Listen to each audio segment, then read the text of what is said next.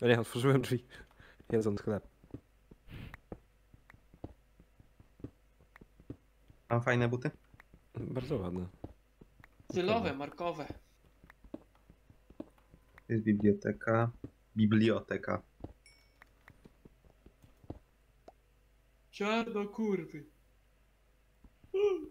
Czy ty powiedziałeś ziarno kurwy? Mhm. To ci to przeszkadza, gówniarz.